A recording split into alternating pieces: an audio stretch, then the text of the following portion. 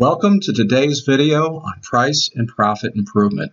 I'm Ralph Supancic and today I'll show you how you can find underpriced products in your business and determine the right price for the marketplace.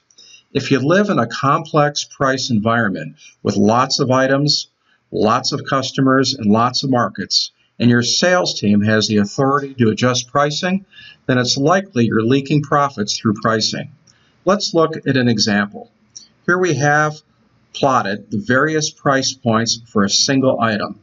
The vertical axis shows the average selling price. The horizontal axis is the annual spend for each customer. That is, the total sales for all items.